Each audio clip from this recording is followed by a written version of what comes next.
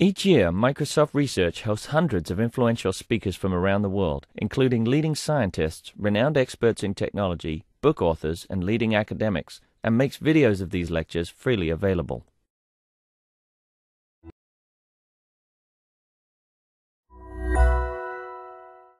Most. Uh, so let's get started. I'm Ben Livshits. So I'm excited to host a visitor from Adobe in San Francisco visiting us for the day. Uh, he'll talk about um, uh, type inference for dynamically typed languages. Uh, Avik, the podium is yours. All right, thanks. And by the way, if you want to talk to Avik uh, uh, one-on-one, we still have, I think, a slot or two somewhere and some sometime in the afternoon. Uh, thanks, Ben.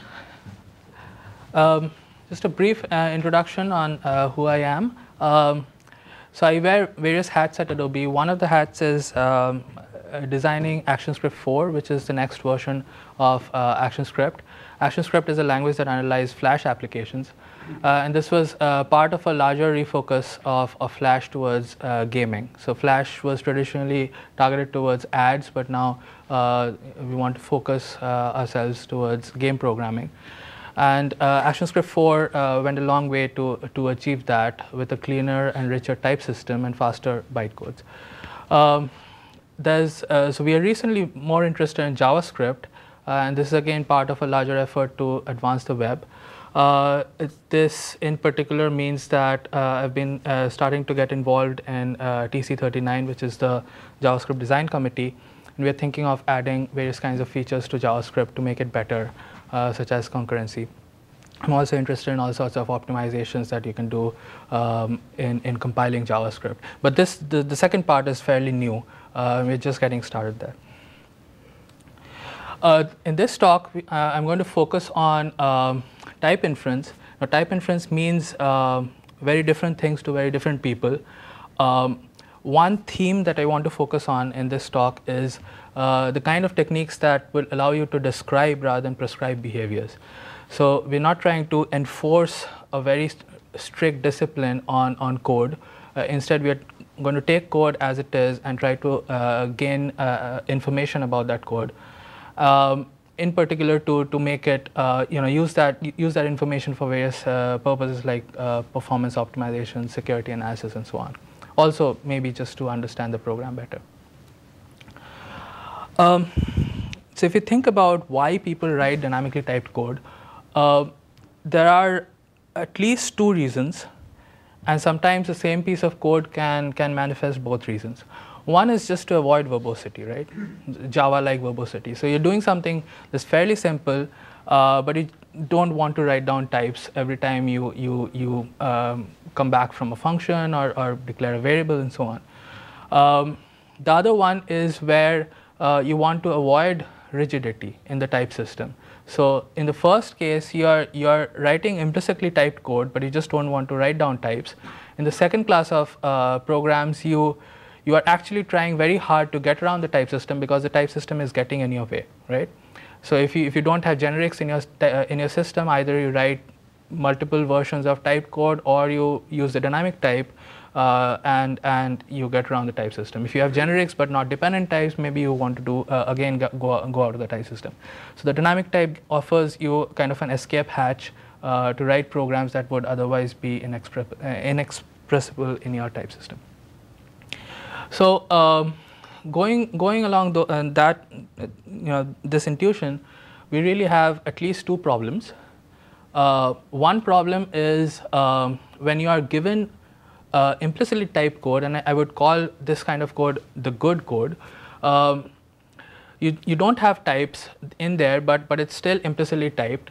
Uh, can I make it run faster without, without breaking the program? So you have the program, you're not trying to you know, uh, change it anyway, you just want to uh, you know, get some information to run it faster. Uh, so this uh, is based on uh, a paper that was published in POPL 2012, joint work with Aseem Rastogi and Basil Hosmer. Uh, and the second line of work, I'll, I'll discuss uh, a technique where you, you are given explicitly untyped code, uh, highly dynamic code, and I'll call this code the bad code, although I'm not passing judgment, right? I just gave you very good reasons why you would want to write such code. Uh, it's, it's bad just because it, it breaks most traditional static analysis.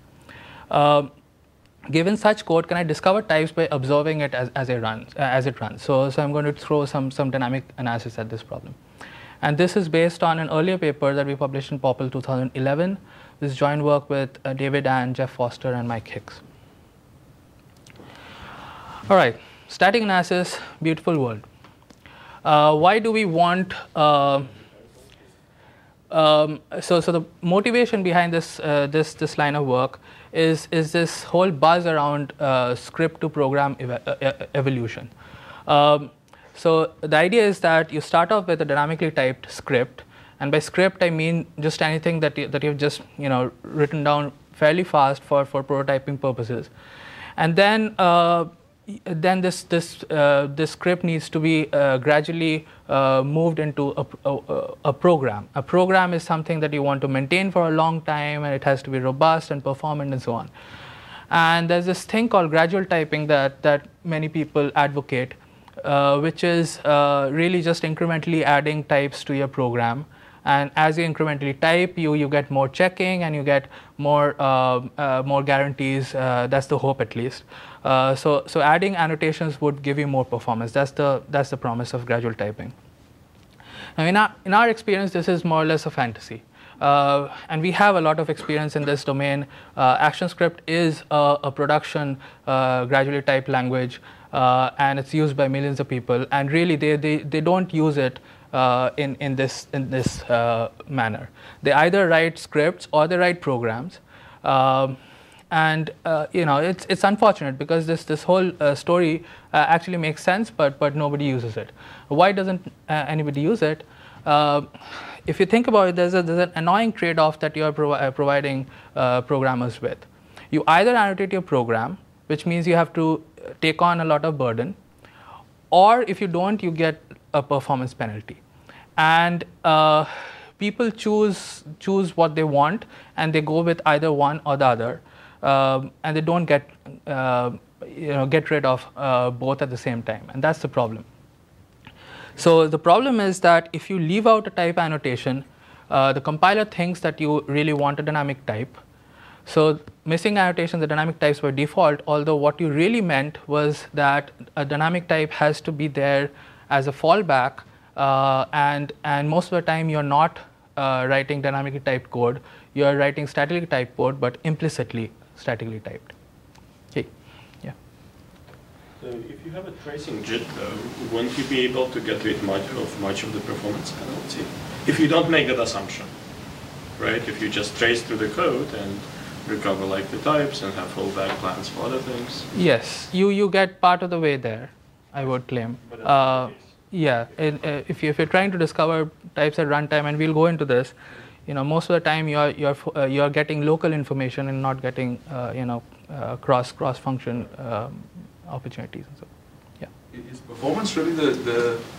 I can see performance as being one of the main uh, concerns here, but uh, isn't it also a question of you know maintaining code and being able to yes have modularity? Of course. a large team. Of course, all, all the all the you know cite all the all the good uh, you know arguments for static typing, and I'm with you. But if if you have to really sell it, you know, talk performance, and and this idea immediately sells, right? Uh, people are sometimes you know most developers are are okay with with working hard to to write you know badly written code but if they can get some performance out of of doing something then that's that's a much larger motivation for them to try something out. So is that the big okay. carrot at, at Adobe to get people to annotate their stuff with? Oh yeah. Yeah yeah yeah. I mean especially because there's a lot of low hanging fruit in there. ActionScript 3 is not not very performant. So if you if you if you dangle that carrot they, they immediately go uh, so we're going to talk about gradual type inference then. Uh, practical motivation is to improve the performance of existing Flash applications um, by eliminating as many typecasts as possible. Um, and one of the key goals in this work, which is important because this, this drives what, what techniques we are going to use, is that we want to be backward compatible, which means that we cannot recompile a program and have it break in arbitrary contexts and so on. Uh, a non-goal is to increase safety or eliminate errors, uh, which means that yes, we can of course reject programs. So maybe this is a, a very, very uh, too harsh uh, a statement, but we definitely don't want to fail early or, or you know pull up checks uh, in in places there. You know, uh, if, if we if we are not guaranteed to fail, we should not fail, right? So this is this is a very different kind of uh, modality than than uh, than the than the usual way of thinking about typing, which is you conservatively prove that that you know you may fail and and you reject a program. Okay. And this is because we we we should admit a code that is reasoning outside the static type system. Otherwise we will be solving a different problem than what people require. So here's uh, here's an example of a gradually typed program.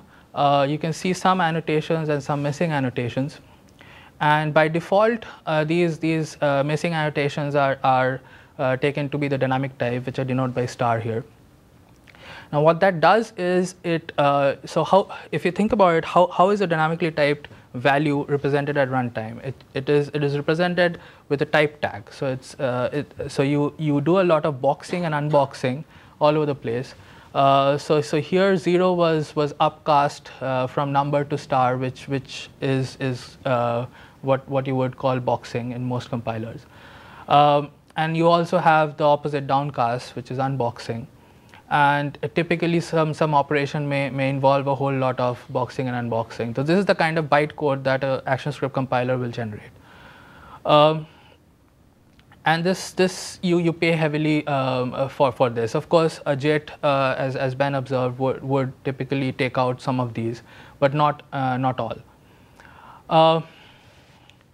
Uh, so, instead of uh, uh, assuming that a missing type is a dynamic type, uh, what we do here is that we, we assume that it's an unknown type. So we, we invent type variables. I, I uh, represent type variables with capital letters here, uh, italics. Um, and we will try to infer static types for these unknown types uh, where possible although the, dynamic type is, is perfectly fine as well as a solution. So, so we cannot type a certain part of the program, we will not reject it, we will just give it the dynamic type. So, so we won't be worse off than, than what we were before, but hopefully we will be much better. So this is the architecture of, of the system. You, you start off with a program annotated with type variables and these type variables are obviously auto-generated. Uh, there's a compilation phase that, that translates this program to a program with coercions. These coercions are just like um, you know typecast that a compiler would insert uh, for you, uh, except that in this case they, they also have type variables in there. And next we, we interpret these coercions as, as uh, small you know flow constraints. And we do a closure computation on, on top of these flow constraints to get a flow relation. And then we solve this relation we get down uh, get get back solutions for these type variables. We plug back the solutions in the coercions so you get concrete coercions and then you can eliminate many of these coercions. Okay. Okay, so this is the notation I'm going to use for a coercion. Uh, T1 to T2. This, this essentially means that I have a term of type T1 that is flowing into a context that expects a term of type T2. Okay, and um, I will distinguish two kinds of um, constraints. One uh, kind of constraints are uh, you know constraints that are flowing into a type variable, which I would call inflows, and uh, the opposite one would be outflows. And again, I want to distinguish between the two, uh, these two because they are going to uh, determine how we solve for uh, these variables. Okay, so uh, so instead of star, now I'm going to generate uh, you know coercions to type variables and coercions from type variables, right? so this is you know these are the coercions that I'll generate. This is completely trivial. Um, now um, again, looking at a type variable, you will have a whole bunch of things that are flowing in and a whole bunch of things that are flowing out of that type variable. Uh, so how do typical type inference algorithms work? Uh, you, you have, you see what is flowing into a type variable and that determines all the things that uh, that that variable can contain, right? So these are the definitions of of the type variable, and if you take a least upper bound of of of these um, types, then you get some sort of tight bound on what that variable can contain, uh, how, how it is defined. If you look at the outflows, on the other hand, if, if you take a greatest lower bound or intersection of all, all the places where the type variable flows out, uh, essentially you're talking about how that variable is used in your program. So you're talking about safety there. Um, and typically a solution is somewhere in between uh, this, this least upper bound and greatest lower bound. Uh, and if you have uh, you know certain well, de well uh, defined type variables, sometimes uh, you, uh, the, the solution is fairly trivial. It's either this or that. But some other type variables may have ambiguous polarities, and and you, you, can't decide which one to use. Sometimes these these bounds will even cross over, which means that something funny is going on in a program. Uh, your program may not be completely wrong, but, but it, it, may involve reasoning outside the type system, so on. Anyway, so we, we just uh, said that the theme here would be to describe and not prescribe behaviors. Uh, so we will focus on least upper bounds here uh, because we want to define exactly uh, what the tightest representation for a, for a type variable is. So that's going to determine our solutions. So as applied to the simple, simple example, uh, if you if you look at the inflows into S, there's just one, so S is number. Um, two things flow into I. If you take their union, it's still number. Um, one thing flows into the return type of this function, uh, and that's also number. So uh, we ignore the outflows, but um, but that, that that was not entirely necessary in this. Uh, it's it's not important in this example, but but just to note that we did ignore all the outflows. Uh, so you yeah. Was the bang significant in foo? That's just notation. So uh, we we're using the notation foo bang to to uh, denote the return type of the foo function. Uh, we'll also use foo question mark to denote the, the parameter type of foo. It, the, it's not significant. It's it's just just a name, naming convention. So. Um, we get this program now once we insert all the all the type uh, all the solutions in and you can see a lot of redundant stuff here right so number to number coercions can be eliminated so we end up with this program uh, uh, and and that's much uh, much simpler than than the original program that uh, the compiled program that we had earlier okay so so this is a key idea only inflows determine solutions in the system and this is precisely because we want want our um, want our uh, type inference to be backward compatible. We don't want to uh, you know uh, do early errors. And you'll see why I'm saying this in, in more examples later.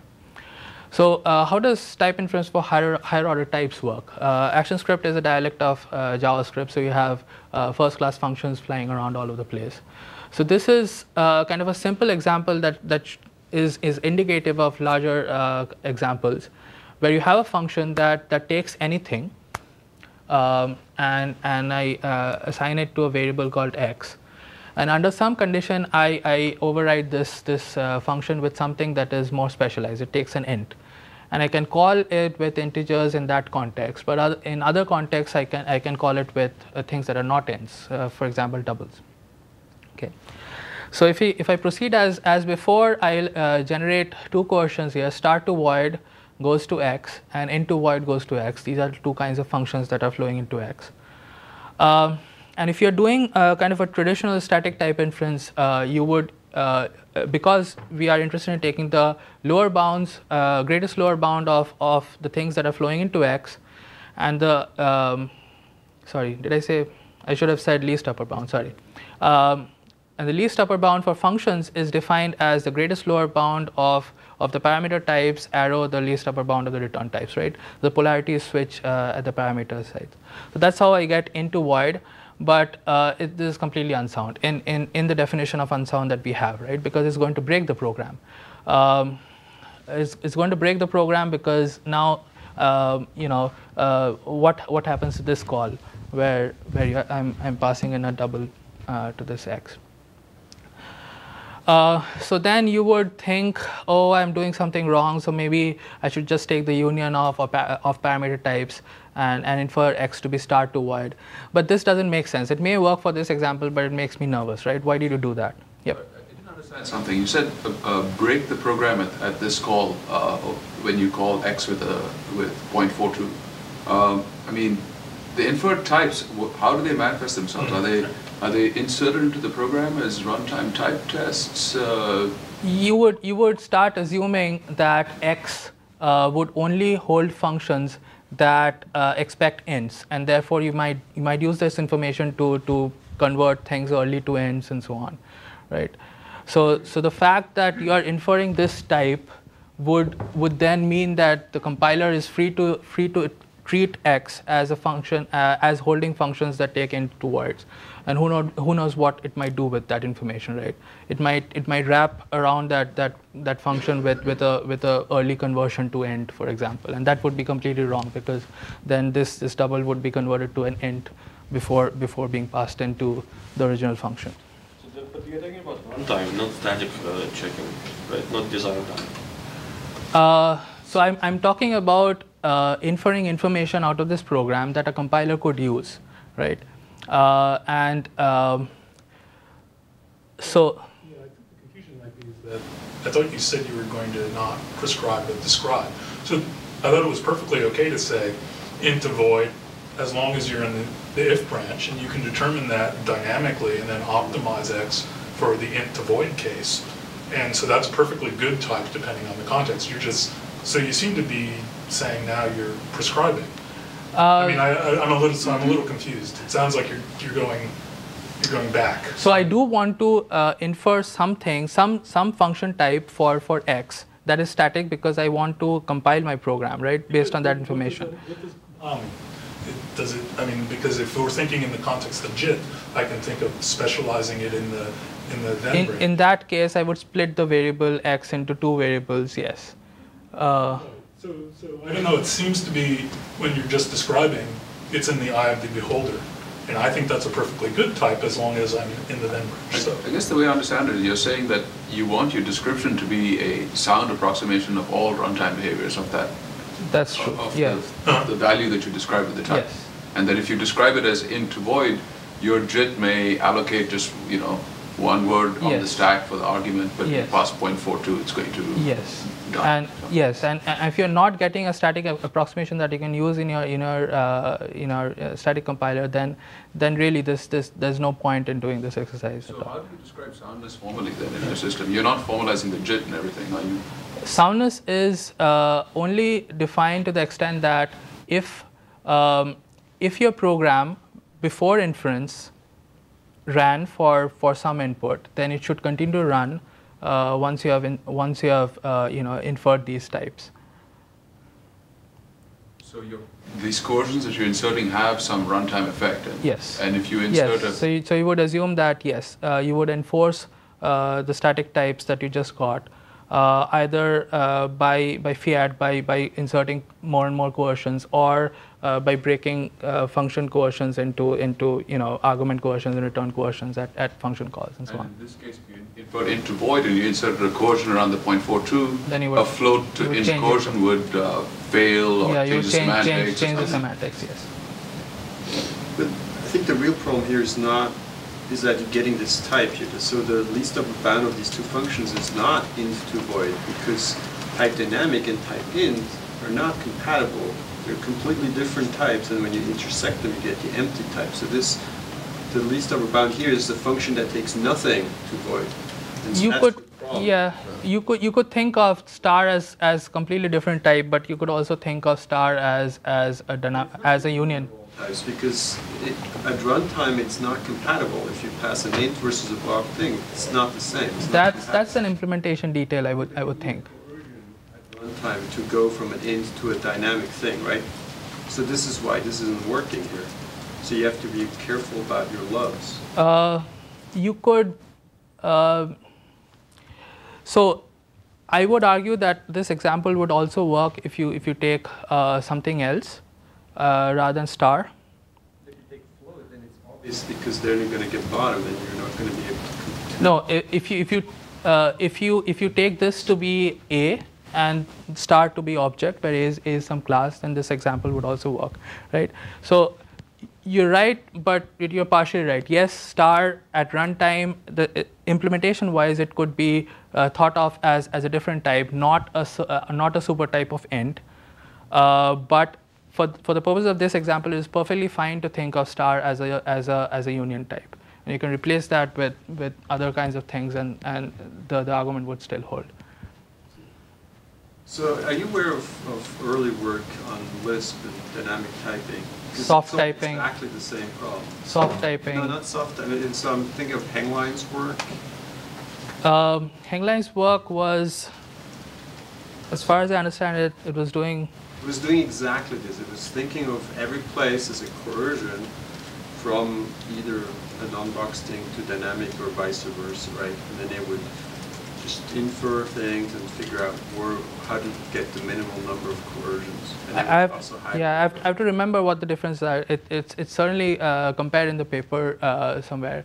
Um, it, it was my understanding that they were doing uh, the the guarantee that they were shooting for is is slightly different. It's not the same guarantee, but it was more restrictive. It was not not as. Uh, okay, so um going back to star now, uh, where where uh, you, you're just trying to get a solution that works uh, by by uh, taking the union of int and star, and for now assuming that star is the the union of all types, and uh, representations are uh, uh, do not matter here. Um, what you're getting is uh, at best something that is imprecise, and at worst something that is that is potentially doing unsound reasoning. The real type that you want to infer here uh, is number to void. I would I would argue, and number is is uh, the type that we have for double, right? Um, the reason is that at runtime, uh, if you have to precisely capture the behaviors that were there in uh, in, in, in a program to begin with, um, at runtime all you're doing is um, is tag checking, right? So the only way where you can enforce uh, a function type uh, is by, by checking that it is a function and then um, depending on the, the, the uses of its uh, parameters and the uses of its return type, very lazily you will you would you would um, you would enforce uh, types on the parameters and the, and the return types. So so what is important when you're trying to preserve behaviors is to look at the ways in which that function is called at runtime, because that's that's going to give you the most precise uh, uh, description of your program. You have a question? Some kind of escape analysis or something, right? I'll come to that. Yep, that's perfectly true. Yep. So, um so you know, this this is this is a type that we would we would like to have, um, and uh, we now need to formalize how we arrived at, at this. Right? Uh, th- there has to be a systematic way in which you you have to derive these types. So definitely the solution of x is is a function type. So let's split x into uh, x question mark uh, arrow x bang, where where uh, x question mark is the type variable for for the parameter type, and x bang is the type of the return uh, value. Um, and because uh, we want to adhere to this principle that that you want to infer everything based on inflows, because inflows are going to give you the tightest description of what is uh, how, these variables are defined uh, we will infer both parts of, of this function type based on their inflows. And inflows of, of parameter types in particular uh, correspond to function applications of, of the thing that is typed x. So we're going to introduce a kind for every type constructor essentially. So, so you have uh, zero array type constructors like numbers and booleans and so on, but you also have functions and objects and uh, so, so we are going to introduce this kind of pattern for, for every kind of type, and uh, and then all parts of this type are going to be solved based on inflows. Okay, and this is related, very related to a notion of naive subtyping that was invented uh, by Philip Wadler and and Flin- Findler a few years back, and they were also uh, you know studying um, gradually typed systems. So it's not a big surprise that we arrived at the same more or less uh, concept from from a different angle. So if we go through this example uh, once more, uh, here uh, I'm, I'm splitting x into, into this function type, and then I'm, I'm applying the usual you know, uh, contravariant and co- covariant um, rules for splitting the function types. Um, and here uh, I generate some more coercions based on the function calls, um, and eventually um, I will get um, the, the parameter type to be uh, to be number and the return type to be void. Okay.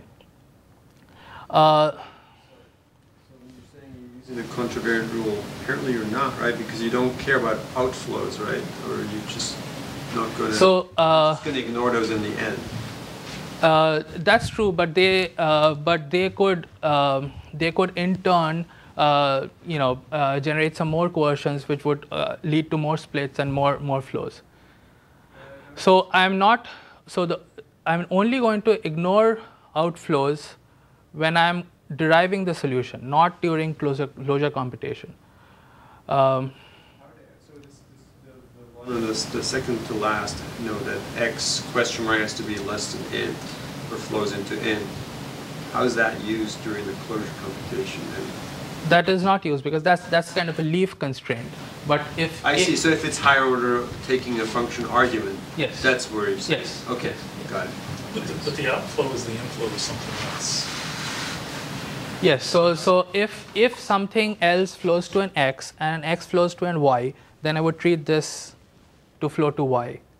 That's what the closure. Yes. But I would ignore typically ignore constraints of the form x goes to a function type because uh, I might have uh, had two different things flow into x under two different conditions. So so the thing that uh, so the additional constraint that x is used as a function is not that important, right? You could be reasoning outside the type system. I don't want that to influence uh, the solution. However, um if there was a function type here and, and this is used as a function, it could be that I still want uh, the parameter types of this one to flow into the parameter types of that one and so on. Okay, so going back to um, you know Nick's uh, observation, now let's see what, what, what happens with, with public functions here. Uh, By public function, I mean a function that is um that is callable from, from a context outside your program. So uh, I'm using this notation again. Uh, parameter type of of of of foo of foo is foo question mark, and the return type is foo bang. So we go through the motions. You you get number to number um, as as the, the the inferred types. But now you can break this program, right? So say uh, you have some external code. So so let me go through this uh, function a little bit. Uh, here you're checking a, a, a global Boolean variable, and depending on that, you're either adding uh, one to x um, or or you're returning zero.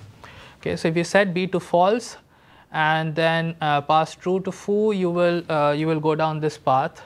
Um, and your program will work, right? So you're passing Boolean to, to something that was uh, explicitly dynamically typed. Uh, so it was boxed, so, so everything works here. However, uh, in, in, the, in the, in the, in the code that, that is generated on the right, this will fail very early because uh, here I'm going to try to convert a Boolean to a number, uh, and that's not going to work. Yeah. A question about ActionScript. So it seems to be more strict than JavaScript. Actually, yeah. So this is this is a lie. Uh, there would be an implicit coercion here. Um, uh, so it, it it corresponds to JavaScript semantics. So this, so choosing Boolean here was not the right uh, thing to do. String and a number in JavaScript. Give Yes, and you can you can do the same here. So this is, this is a simplification of of ActionScript. This uh, is not yeah. So this, these types are, are not controlled in Right. So we are assuming that if, if yeah all, all the all the primitive types are not interconvertible and so on. But are you sort of implicitly talking about rewriting bytecode? Because you, you have bytecode functions Yes. as well. Is that Yes. kind of what's implied here? Yes. So Can talk more about that? Just sort of missing that connection. Because in JavaScript, which we are accustomed to, we don't have bytecode. There's just source and execution. Yeah, sorry. So I should have made, made that connection. Yeah, so the action script uh, looks like JavaScript plus types at, at the source level, but then it's compiled by this compiler.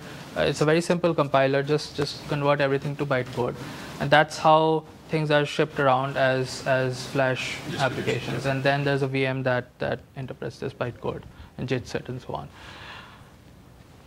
But are you kind of thinking about? I mean, you're talking about sort of sending stuff off to runtime. Does that involve changing the bytecode? Uh, yeah, so so this compilation phase would would uh, be implemented in the in the source compiler, and you would generate I- different kinds. Okay, so it's not bytecode, bytecode, it's part of the compiler. Yeah. All right. So uh, just showed you an example why why this inference is uh, unsound, right? And the reason is that yes, we were relying on on uh, inflows to determine our solutions, but uh, obviously here we are not uh, seeing all inflows into the parameter type of this function.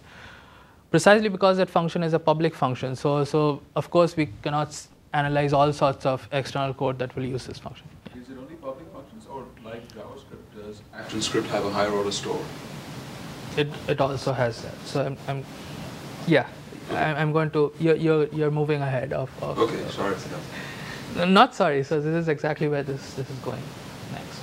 Uh, so where do we uh, not see all inflows? Um, formally, these are these are the type variables that are in the neg- in negative positions in, in the type of the program.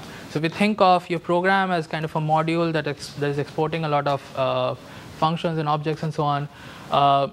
A public function is is um, something in, in that in that module signature um, that is at the at the at the top level and and the parameter type is in a negative position in that in that type. So these types are unsafe to infer. So we have to be very careful about not trying to infer these these types.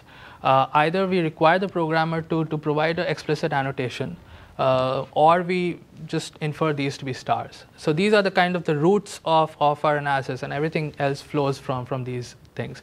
So if you want to control these roots, you have to explicitly annotate, annotate these positions. Otherwise, we'll just want to infer star. Okay. So, um, however, we can do better for local functions. So this is a local function. Uh, foo is a local function now that is wrapped inside bar, and now we can we can see all calls to foo. Say. So here it's perfectly sound to, to infer number to number because this function cannot be called from external code. However, then there are local functions that escape, right? So here I'm calling this function, but also also returning foo. And now, if you are if you are leaking these local functions from public functions, then they are as good as public functions. Okay. So again, this is unsound now because I can construct a similar counterexample to break this code uh, with some some arbitrary context. So this would mean that perhaps we need some escape analysis, right? And this is getting more and more complicated and tedious. Uh, however, uh, fortunately, we do not need uh, an escape analysis, and that's that's one of the uh, good things about this this technique. So if you if you go through the motions and generate all the constraints in in, in the right form, uh, then you will notice that some variable somewhere that uh, so this is a complicated expression that says that um, I'm talking about the return type of bar, which, which is this, and the parameter type of whatever bar is returning. So if you look at this, uh, this code bar is returning a function, and uh, this is the, the parameter type of, of the function that is being returned. And uh, by a rules that that is in a negative position in the type of the program. Um, and because it's in, it's in, a negative position now because we, we have set up our our um, our uh, flow um, uh, you know the thing that Tom was talking about right? Two function types the parameters are flowing back and forth. This this thing uh, by by annotating this as star or inferring this as star this this will flow back um, some more constraints and eventually you will you will infer the parameter type of, of foo to be uh, to be star so this is, this is safe, right? So we do not end up inferring uh, the parameter type to be number because that would be unsound. So this is a good thing because this does not add any any more weight to uh, to the system. The system re uh, remains pretty lightweight. You just have to have a position-based restriction on the type of the program, plus uh, some sound rules for closure computation, and and that suffices. Okay. So objects are, are similar. Uh, you, you, you have potentially unsound results if you, if you don't take into account things that escape. Um, so it turns out that writable fields of objects escape via the constructor. So this, they have to be treated as, yeah. So you're assuming that the type structure is actually finite of your of your code. Otherwise, you can't do this kind of expansion. So what can't you write functions that take an arbitrary number of arbitrary argument type functions? Uh, I, I would not go into uh, inferring the types of those those functions. I mean, if you just run this algorithm, you will never terminate because you will constantly build up bigger and bigger functions, right? You will keep splitting a variable into the bang version and the, the question version, and then recursively figure out, oh, the question mark is again a bang and the question mark, and so on and so on. So. Uh, the rules terminate because there are, there are so at every, every step um, of, of the closure computation something is going down Um, we, we guarantee that, and there's, there's a proof uh, in, in the paper uh, to that effect. Yeah, that's possible right now. Because I mean, if clearly your rule is that if you have some, if you have some function flowing into a type verb, right, you have to split the type verb, right? Yes. So the, the, the during the closure computation, right? yes. You have to prove that you're not going to split them indefinitely, right? So, uh, so in, in typical f- transitive, so we do not compute a full transitive closure. Um, again, I would, I would refer uh, you to the paper to, to see this. Um, what happens is that um, because um, these x's are only split into uh, their shapes, and the shapes determine how how things flow across um, you know functions. So so if, if if there's a function type that goes to an x and that x goes to a fun- another function type, you first split that x into into x question mark and x bang, and the flows go through that, and uh, you stop when you, you you have mismatch on the on the two sides.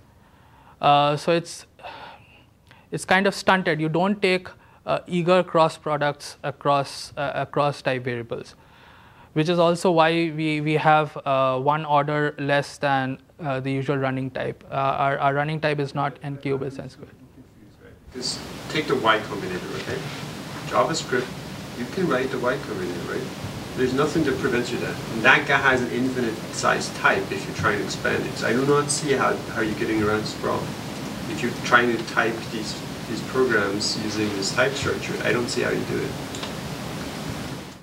Uh, can we go through Yeah, that, can that example offline? Because Uh, this, this doesn't. Okay. Okay. Um, I, I can I can more or less guarantee that we will stop early and uh, and, and assume yeah yeah yeah. So we'll go through the rules to, to see that. Um, so the time complexity of this algorithm is n square rather than the usual bound of n cube. Uh, this is precisely because we do not take a full transitive closure and we are kind of clever in, in the way we uh, terminate um, transitive closures. Okay. Um, and we prove that um, this, this preserves the runtime semantics, programs do not break, and they can be composed with external code. All right. Uh, so uh, in order to evaluate this, uh, so this is a very early evaluation. We later implemented this uh, in the in the ActionScript compiler. So so the results that I'm showing uh, are are old results, uh, where we we ran this through uh, a bunch of benchmarks and um, and we we so this this is how we set set the experiments up. We have fully typed versions of of these benchmarks.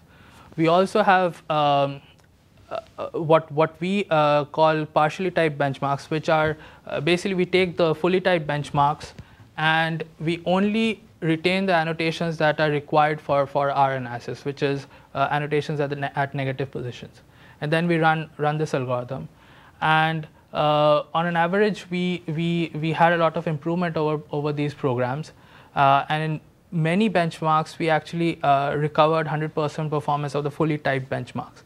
So uh, the promise here is that you can leave out these types and still get the uh, uh, performance as if you, you fully annotated your programs. And some cases, you also get better than fully typed benchmarks because um, we, we managed to infer something that is more precise and more compact than, uh, than the annotation that, that we had. Uh, in some cases, we are, we are hopelessly uh, bad. For example, for array reads, uh, you really can't guarantee anything out of uh, that comes out of uh, an ActionScript array, which is more or less like a JavaScript array. Yeah. I'm a little surprised by your benchmark selection. These are, I mean, not only are these relatively small, uh, these are also fairly numeric in nature, which is not entirely common if you look at client-side JavaScript. And there are benchmarks in the V8 suite that are fairly different from like Richards and Raytrace. So what's, like if I were to run this in jQuery, what would come out? Uh, that would be possibly the uh, the subject of the next part of the talk. So this uh, so here we are we are focusing more or less on game like ActionScript programs which uh, which are uh, either fully typed to begin with um, and use a lot of numerics and so on. And they are not, uh, they don't use a lot of prototype chains and, and lots of dynamic constructs that JavaScript has. Uh, those things do exist in ActionScript as a subset, but most people use the class, you know, the classes and ActionScript and that, that kind of subset, which is better behaved than, than full JavaScript. So these are JavaScript programs ported to, to ActionScript yeah, so and these, then annotated with types? So these are part of the, the ActionScript VM uh, benchmarks, which evolved from being a JavaScript VM to an ActionScript VM. So these benchmarks still exist there. Yes, and some of these have actually been ported to use classes instead of objects and so on. Um, we also don't do well with uh, numbers versus integers, but some range analysis can improve that. Okay, uh, how, how are we doing on time?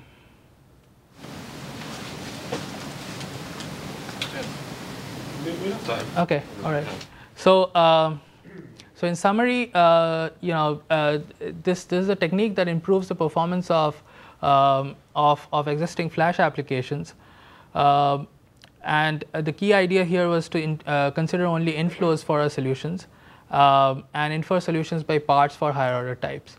Um, and uh, this is backward compatible and uh, the way to do that is, is, only by having a very lightweight restriction on the, the types that we can infer or the parts of types that we can infer and, uh, uh, and an escapes analysis that seems necessary for, for this analysis is actually not necessary because it's encoded by uh, the way we compute flows. Okay, so this is fine, but um, but as we will see, um, as we move to to uh, the second way in which dynamically typed code appears, uh, not everything can be solved through static analysis. In particular, if you are deliberately trying to go outside the type system, uh, there are ways in which you can uh, break uh, the static analysis um, very soon. But we would still need static typing, uh, I claim. And there are many reasons to, to desire static typing in, in these languages. Uh, I would want to check for type errors over all paths and keep documentation synchronized. Uh, I also want to ease code maintenance um, and, and, know how to call, call functions. Uh, of course, I want efficient implementations, and, and that's, uh, that's, also, that's, that's always um, there. Okay. Uh, so the kind of static analysis that I just, just described uh, fails miserably when you, when you throw very dynamic constructs uh, at, at, at it, right? In particular, things like eval and prototypes just don't go very well with, uh, with the kind of static analysis I showed. It's also true that a lot of libraries use these dynamic constructs. Essentially, they do a lot of meta programming with, with the dynamic language. Um, and libraries could highly benefit from types. So it turns out that the kind of code that would, um, would defeat static analysis would benefit the most with, uh, with uh, you know, inferred types. Now, the idea behind uh, this, this second piece of the talk is that um, we can we can do dynamic analysis for for these kinds of programs. And uh, the saving grace is that dynamic programs come with lots of tests. So can we exploit these tests for doing precise analysis? By observing only the feasible paths uh, through your program and then trying to abstract uh, whatever obs observations we make uh, by generalizing these types and predicting type errors so this is um, a, a, small function that we'll um, use as a running example. Uh, I'm switching notation here because this, was, this is a different paper. We use different notations just to keep uh, notation uh, consistent with that paper. Um, here, um, I, I, have uh, things called alpha, which, which denote type variables. Um, so there you have a formal argument x, and the type variable for that for that formal argument is, is alpha x. There's also a corresponding uh, type variable for the return type of bar. So the key idea behind this dynamic analysis, so, so what, what are we trying to do? We are going to take a program and we are going to instrument it to, to observe things uh, as, as it's running. So the, one of the key concepts here is one of wrapping a value. Uh, let's say that a value v is something that you have at runtime. There's also a wrapped value, which is also a, va a value at runtime. Um, which is a value v wrapped with some type variable. So you can think of this wrapped value as some, some sort of proxy that more or less behaves as v, but it also carries along uh, the, this type variable with it. So type variables uh, express some, some static invariants and the values wrapped with these type variables are, are carrying these static invariants. And we are, make, we are going to make sure that, uh, that this, this wrapping has some meaning. So there, uh, there are two dual operations here, one of constraining and one of wrapping. So uh, how does this work? So let's look at this code. Uh, start with, uh, with this call here to bar with a new instance of C. Um, so I create an, uh, an object of type C, uh, and this now flows to x, the, the parameter of bar. So x now contains this object. So I, I insert uh, this, this constraint now, which says that uh, the type of whatever x contains has to be a subtype of alpha x, which is the, the, the type parameter for x. And because x at runtime actually uh, uh, contains a C here, I am going to uh, insert that coercion C, uh, C to alpha x. Okay.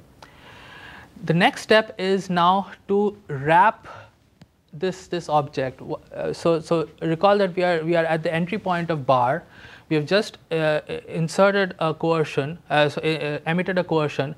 Now we are going to wrap this value that that just came in with this abstract type alpha x. So the reason we are doing this is that we now want need to uh, want to monitor wherever this this uh, parameter is flowing, and we want to capture the fact that this is typed alpha x, so that uh, subsequent uh, constraints that we generate are constraining alpha x rather than the concrete type of C. So this is uh, this uh, becomes important because in the next step we are calling foo, and then we insert we emit a coercion that says that x has to accept a method, uh, a, a foo method. Okay.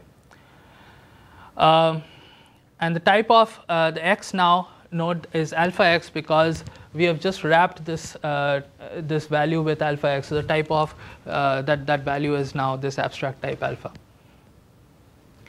Then we uh, then we uh, go to the return value, which is seven, and we again emit a uh, coercion that says type of 7 is the type of the return value. Um, again, that's concrete uh, up to this point. But in the next step, um, we, we wrap this value with, with the type parameter, um, uh, sorry, uh, the type variable that denotes the return type of bar.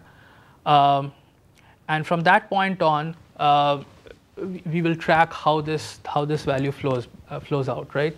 So the return uh, value that comes out of bar will go to y, and from that point on, it will it will cap uh, it will it will carry this invariant that it came from the return um, return of bar.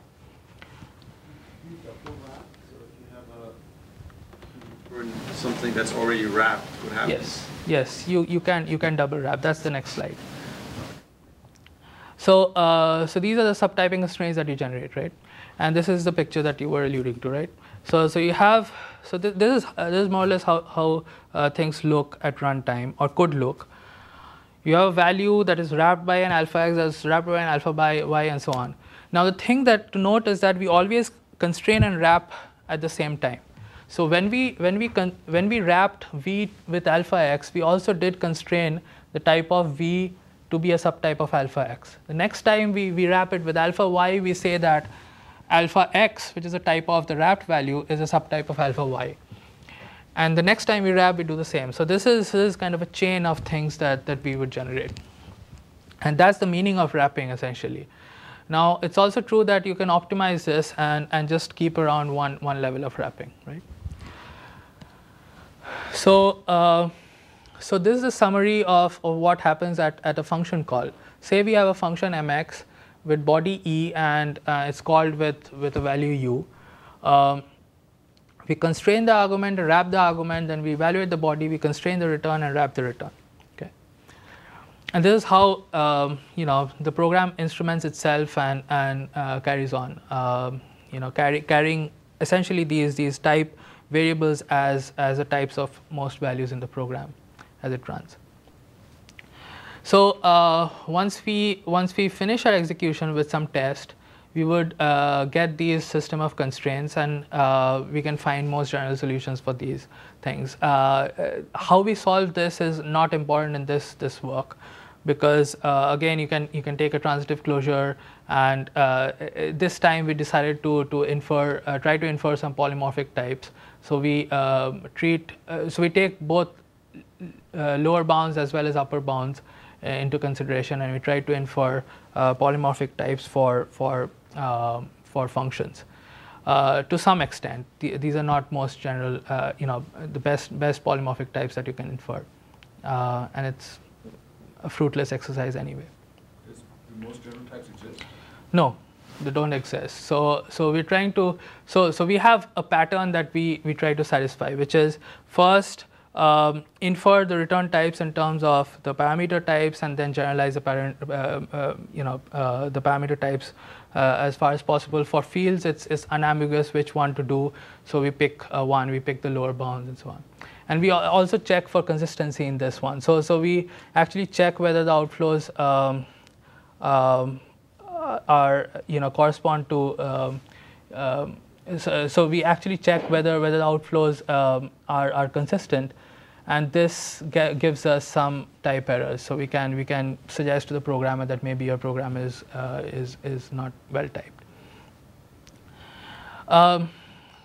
So the the good features of this uh, is is what I want to focus on uh, which is uh, one is path sensitivity. So, so if you are deliberately trying to go outside the type system, you may have code like this, which under some conditions you treat something as an integer, and some other conditions you, you treat some the same thing as as uh, as a, as a string. A standard static type inference would completely get confused because it could it would see that uh, there's there's a potential for for an integer being being uh, used as a string. So you would give an unsatisfiable uh, you know constraint system um, and so you would you would say that this doesn't work. However if you if you look closely this this actually corresponds to an infeasible path. Uh, because if p holds then we in this program we consistently use it as an integer and if p does not hold then when we use it as a string.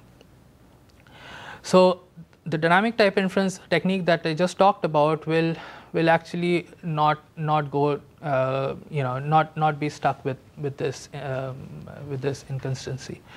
Um, so we would go go down one of the paths and things would be completely consistent down that path. In, in another test, we might go down a different consistent path, and the constraints that would, we would generate would be also consistent. So eventually, we would we would infer something uh, like boolean to number for this function, which is exactly the type you want. Uh, one might think that um, you would need uh, like uh, an exponential, uh, uh, there would be an exponential blow up in, in the path coverage that is required um, for this for this to work. However, we, we because we are doing a, a, a modular analysis for every function, we have a, a, a type parameter and, a, and a, return value, and we are not doing you know like inter-procedural analysis. Um, we, we kind of contain the path, uh, the path coverage that is required. So here we have two functions and uh, potentially you would think that there are four paths to be uh, covered here. However, with one test you could cover uh, one side of that branch. With another test you might cover the remaining uh, uh, you know remaining paths and that's that's sufficient for soundness. Uh, again, uh, by by some definition of soundness that I'll, that I'll talk about informally here. Further tests are redundant, so they are not driving your program through through different paths, um, and so so this is good because. Um, what we're doing here is dealing with type variables rather than concrete types, and that kind of generalizes the observations a little bit so that uh, you don't need uh, an exponential number of uh, tests to, cover all paths in your program. You may not cover many paths ever, right? In, That's in true. In particular, if, if, if, if, if those paths are infeasible, then you would not cover them. You may not also cover some paths that are feasible but, but are not tested. Yeah, so that that's the price to that's the price to pay for for this. Uh, sorry, random numbers you said. Right, like if the random number is 1.2, then yeah. you know do this. Yes. Uh, yeah. Yeah. Uh, so there, there's so there's a caveat there. Of course, you're not going to potentially cover some paths. However, the the, the coverage that we require is here is uh, sort of very abstract coverage. It, it's fine to cover the control flow graph of your program to some extent, and the soundness guarantee that we will get. Of course, this you know you can't even think about soundness in this this uh, inference, right?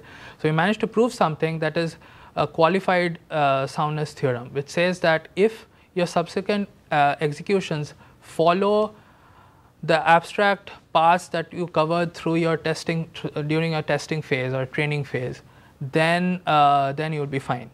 So the generalization that we do is sound, but you're not you don't get an absolute soundness guarantee.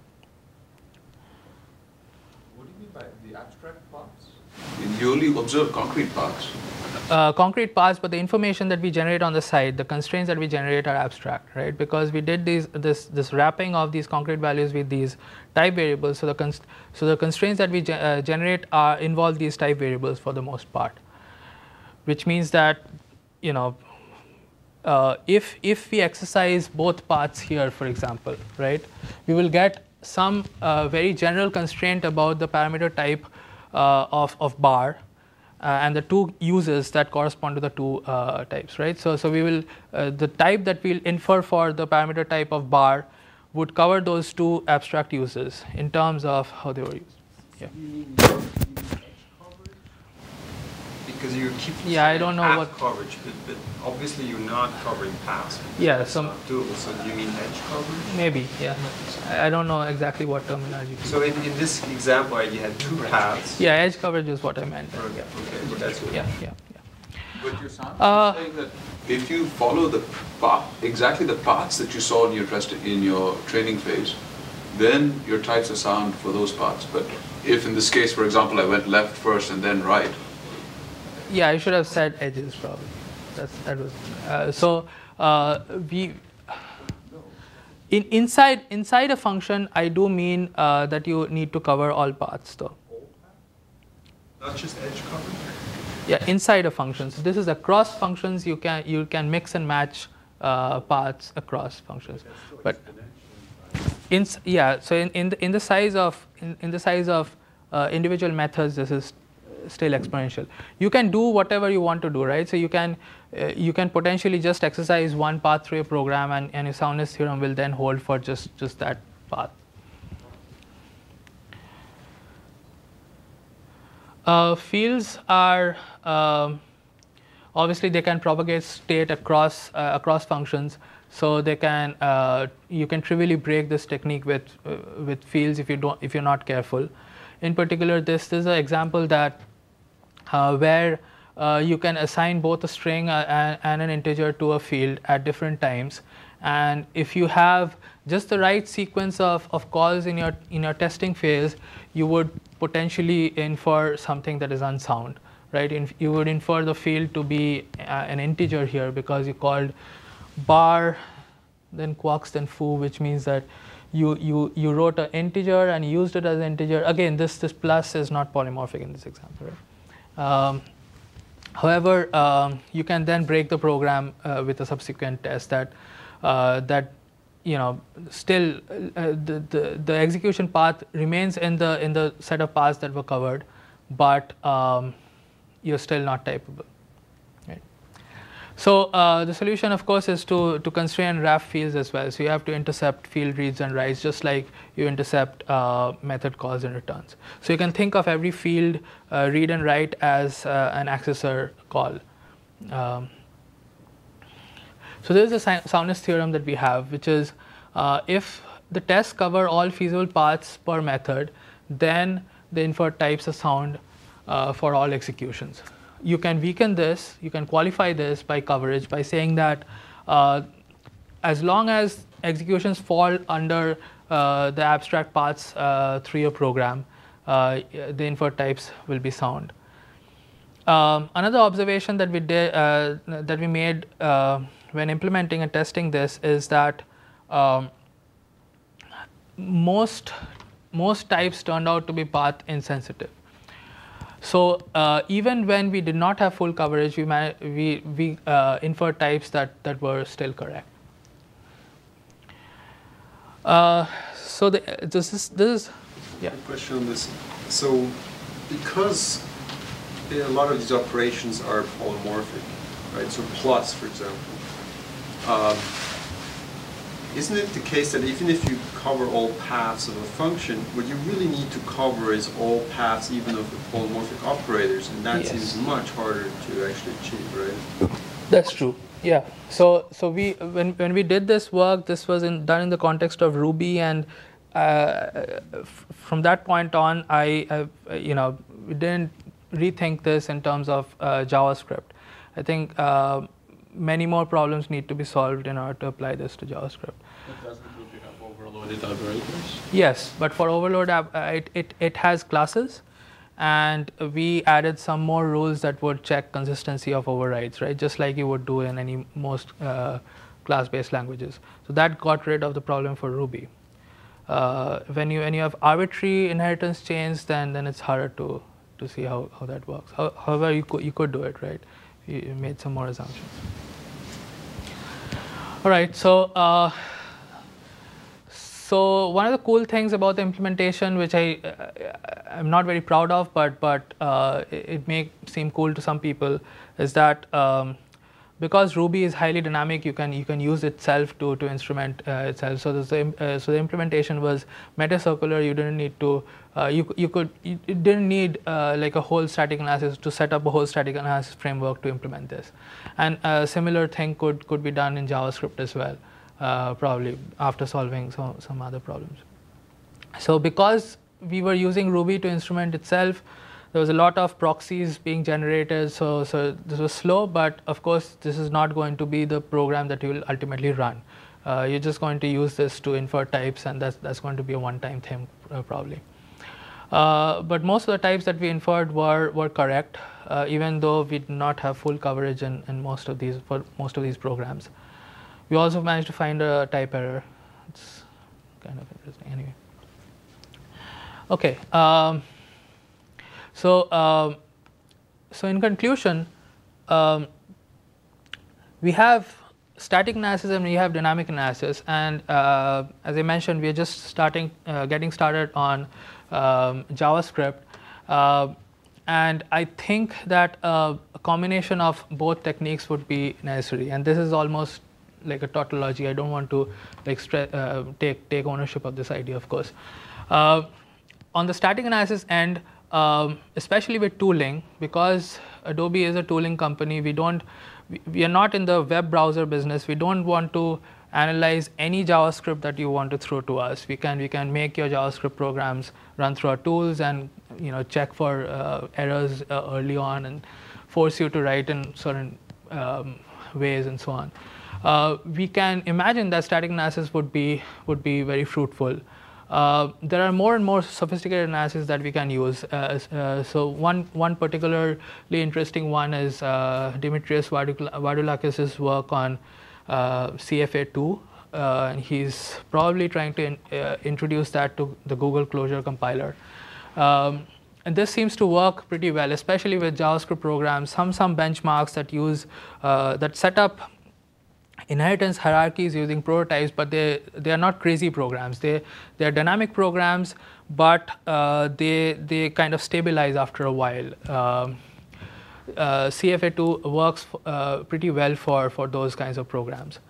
Uh, dynamic analysis can fill in the gaps. It's actually used in a very, uh, very rudimentary form uh, in, in most JITs today, right? So most JITs work, uh, JavaScript JITs work by, um, by, by running a program for a while, um, and, and based on the profiles that, that you generate, you speculate on types. So there's, there's uh, hope that uh, the kind of dynamic type inference uh, technique that, that I just talked about could be used to generalize uh, those, those profiles. There's also the view that dynamic checks can always um, you know, support uh, unsound static analysis, and this is the subject of Brian Hackett's work in Firefox, where um, uh, his argument is that um, JavaScript is just too too hard to do static analysis on, sound static analysis on, but that does not mean that you cannot do uh, unsound yet useful static analysis. And then you know, uh, add enough um, checks uh, to, to support that unsound analysis. Uh, future directions that, that uh, I'm looking at, uh, one, one direction that is particularly interesting is um, whether you can um, compile JavaScript ahead of time. Uh, as I said, we, we have tools, we can force people to write uh, programs in certain ways, uh, but um, uh, but it would be really cool if, if you could force people to uh, or, or have people uh, write games in JavaScript. JavaScript is a nice functional programming language if you think about it. It's not very crazy. Um, some people completely hate it, but I think um, if, if you just use the functions and records part of, of JavaScript, it's actually not that bad. And most games are written in that form uh, anyway. So, um, so the idea behind this project is uh, can we can we do the same things, same kinds of things that uh, that a typical JavaScript JIT would do, but only broaden the scope of, of uh, this, this speculation. So, so typical JITs uh, speculate and add guards all over the place. If you do some uh, more or less stat, uh, sound static analysis, uh, you can eliminate many of the guards and you can pull up the checks early on so that uh, you can pre-specialize functions to, uh, to either go down a slow path or a, uh, or a fast path very early on. So that's, that's some of the ideas that we are exploring in that project. The other, pro, uh, the other idea, which I don't know anything about how, how that's going to pan out, is, as I said, to try to apply this dynamic type inference technique uh, to generalize the kind of speculation that you do in JITs. Uh, and I'll be happy to brainstorm or collaborate there. Okay. So, um, I mean, I think you'll stick around and we'll go to lunch, right? So if you have questions, feel free to